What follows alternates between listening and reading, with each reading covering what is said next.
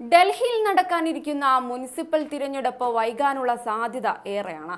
എന്നാൽ ഈ സമയം കൂടുതൽ വോട്ട് പിടിക്കാൻ പതിനെട്ടടവും പഴറ്റുകയാണ് രാഷ്ട്രീയ പാർട്ടികൾ.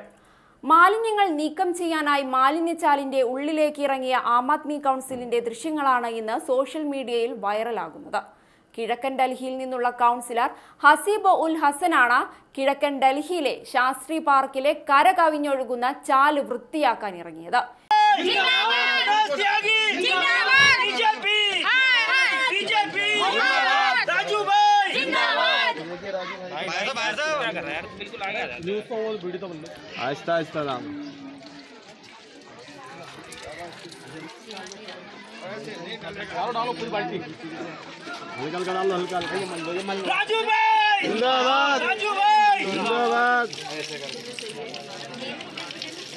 जिंदाबाद राजू भाई जिंदाबाद भैया साइड में हो जाओ ना വെള്ള കുർത്ത ധരിച്ചെത്തിയ കൗൺസിലർ മാലിന്യ ചാലിലേക്ക് ഇറങ്ങി നെഞ്ചോളം നിൽക്കുന്ന മാലിന്യ കൂമ്പാരത്തിൽ നിന്ന് ഒഴുക്കി നടന്ന വേസ്റ്റ് നീക്കം ചെയ്യുന്നതായി കാണാൻ കഴിയും കൗൺസിലറിന്റെ അനുയായികളും അദ്ദേഹത്തെ സഹായിക്കുന്നതായി വീഡിയോ ദൃശ്യങ്ങളിൽ നിന്ന് കാണാം പിന്നീട് നടന്നതാകട്ടെ നായക് എന്ന ബോളിവുഡ് സിനിമയിലെ അനിൽ കപൂറിനെ വെല്ലുന്ന അഭിനയവും കൗൺസിലറിനെ അനുയായികൾ പാലിൽ കുളിപ്പിക്കുന്ന വീഡിയോ സാമൂഹ്യ മാധ്യമങ്ങളിൽ വൈറലാണ്.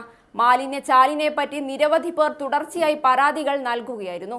എന്നാൽ പ്രദേശത്തെ ബി ജെ പി കൗൺസിലറും എം എൽ എയും ഇത് ശരിയാക്കാനുള്ള ഒരു നടപടിയും സ്വീകരിച്ചില്ലെന്നും ആ സാഹചര്യത്തിലാണ് മാലിന്യച്ചാൽ ശരിയാക്കണമെന്ന് ഞാൻ തീരുമാനിച്ചതെന്നും ആം ആദ്മി കൗൺസിലർ പറയുന്നു.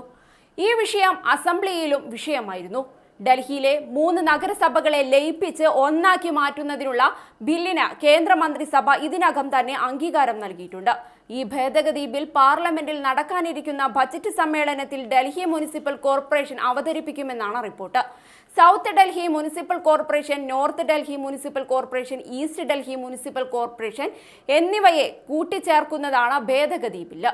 അതേസമയം ഡൽഹി മുനിസിപ്പൽ തിരഞ്ഞെടുപ്പ് നടക്കാനിരിക്കെ ഈ ഭേദഗതിയുടെ ആവശ്യകതയെ മുഖ്യമന്ത്രി അരവിന്ദ് കെജ്രിവാൾ ചോദ്യം ചെയ്തു. തിരഞ്ഞെടുപ്പ് നീട്ടിവെക്കരുതെന്നും അദ്ദേഹം പ്രധാനമന്ത്രി നരേന്ദ്രമോദിയോട് അഭ്യർത്ഥിച്ചിട്ടുണ്ട്. പ്രധാനമന്ത്രി സർക്കാരുകൾ വരികയും പോകുകയും ചെയ്യും. നിങ്ങളും ഞാനുമെല്ലാം ഈ സ്ഥാനങ്ങളിൽ നിന്ന് മാറും. അതിനാൽ ഈ രാജ്യത്തെ ഭരണഘടനാ സ്ഥാപനങ്ങളെ നിങ്ങൾ ദുർബലപ്പെടുത്തരുതെന്നാണ് കെജ്രിവാൾ അഭ്യർത്ഥിച്ചത്. രണ്ടായിരത്തി പതിനൊന്നിലെ യു പി എ സർക്കാരാണ് ഡൽഹി മുനിസിപ്പൽ കോർപ്പറേഷനെ മൂന്നായി വിഭജിച്ചത്.